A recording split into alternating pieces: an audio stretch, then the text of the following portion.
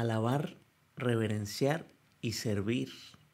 Tres actitudes que San Ignacio nos comparte como actitudes básicas hacia Dios que nos dan un, sentido, un propósito en nuestro caminar. Y como tantas cosas en la fe, siempre que hablamos de algo que tiene un elemento como que apunta hacia Dios, también va a haber un elemento ahí de algo que apunta hacia nuestros hermanos. Y hablamos de que es como la cruz, ¿no? Vertical y horizontal. Entonces, eh, estas tres actitudes de las que hablábamos en el principio y fundamento en el video anterior, en esto que seguimos caminando la cuaresma, pues habría que ver cómo tienen referencia en nuestras relaciones. Y son tres actitudes que valdría la pena como abrirlas un poco más. Entonces, si hablamos de la alabanza hacia Dios, pues una actitud básica sería la gratitud, ¿no? El abrir los ojos y darnos cuenta de todo lo que Dios nos da para, para alabarlo, para decirle gracias, Señor. Eso es hacia con Dios.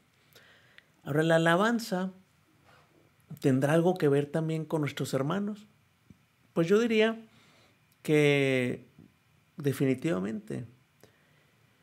Y yo creo que en las relaciones humanas el alabar valdría la pena contrastarlo tal vez con la adulación, por ejemplo, que es, te digo algo bonito para sacar algún provecho, ¿no?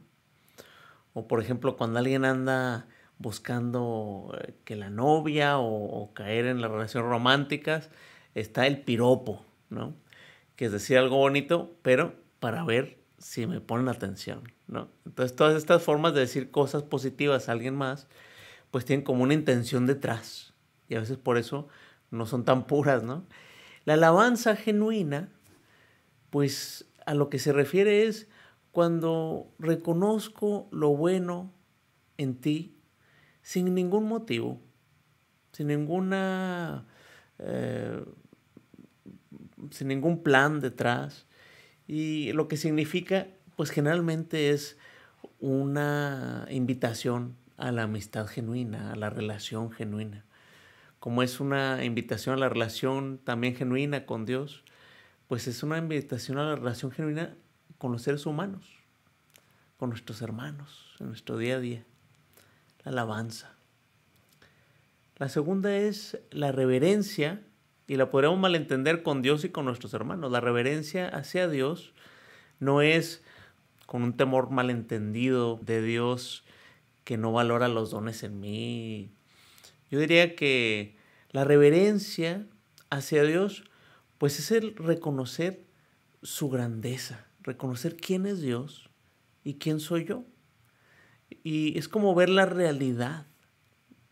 Y en eso, pues, eh, si, si, en la alabanza le damos gracias a Dios por todo lo que, lo que tenemos, lo que notamos, en la reverencia, pues como también notamos que, que Dios es, nos sobrepasa tremendamente y, y, pues también de ahí vendrá gratitud de que Dios quiere estar en relación con nosotros.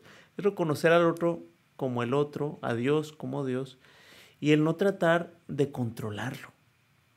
A veces eh, hay formas de entrar en la religión donde en vez de tener reverencia, pues como que eh, quisiéramos decirle a Dios qué hacer con el mundo, ¿no? Eh, qué hacer con la vida, qué hacer con las cosas. Y a veces es bueno de vez en cuando recordarnos que Dios es más grande.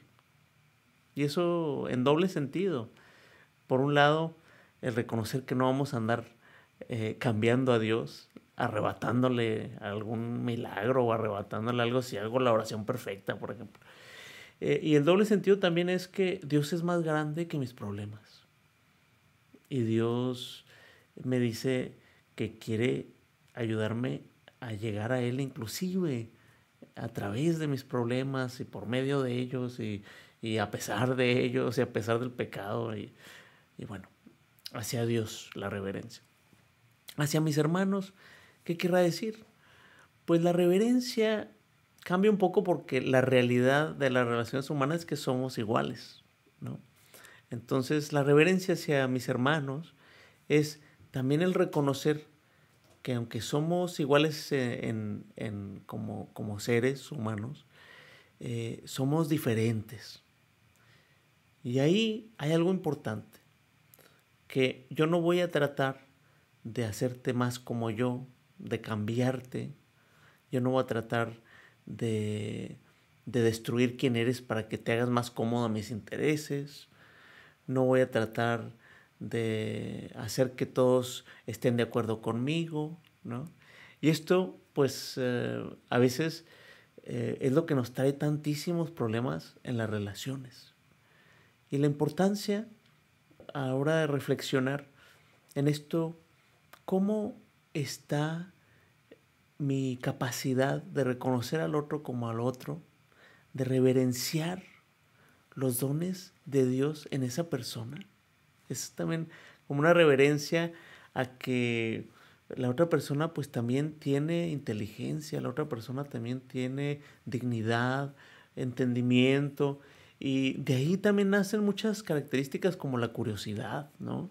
Cuando sale un conflicto, de ahí nace eh, eh, la búsqueda del entendimiento, el tratar de ver cómo, cómo está viendo las cosas el otro, ¿no? Así que una segunda característica que nos ayuda a relacionarnos bien con Dios y a relacionarnos también con nuestros hermanos. La reverencia, eh, podríamos decir, también es como el respeto. Es algo que el padre Carlos Morfín eh, decía. Y finalmente, el servicio. De ahí, pues, no, no hay mucha diferencia. Al final, servimos a Dios ¿Y qué sucede cuando estamos buscando servir a Dios? Pues automáticamente a qué nos llama Dios, cómo nos llama Dios a servirlo, pues eh, también sirviendo a nuestros hermanos, ¿no? Que Jesús dice, ustedes me llaman maestro y Señor y hacen bien porque lo soy. Si yo, su maestro y Señor, he venido a lavarles los pies, ¿cuánto más ustedes?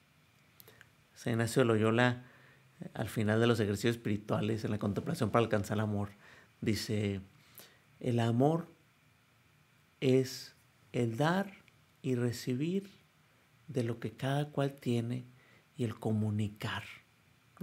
Cuando damos, cuando nos damos a los demás y logramos recibir, pues es ese el servicio.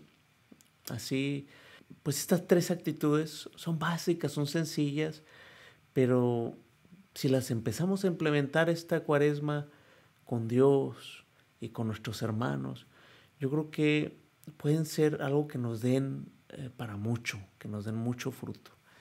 Y tal vez nos topemos ahí con nuestra propia limitación al lograrlo y para eso pues seguimos este caminar de cuaresma.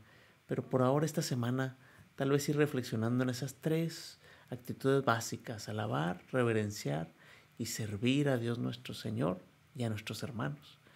Y pues esto está basado en unas reflexiones del padre eh, Adolfo Chércoles, que toma esta reflexión y la, y la aplica también a, la relación. Así que pues seguimos eh, en este caminar y que Dios los bendiga.